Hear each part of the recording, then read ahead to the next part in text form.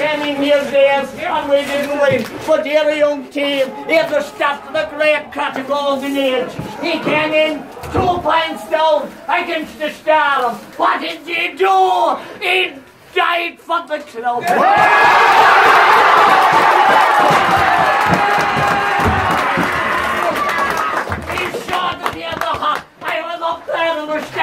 And the crowd was saying, ah, the second half, that won't do the breezes against him. But he came out this.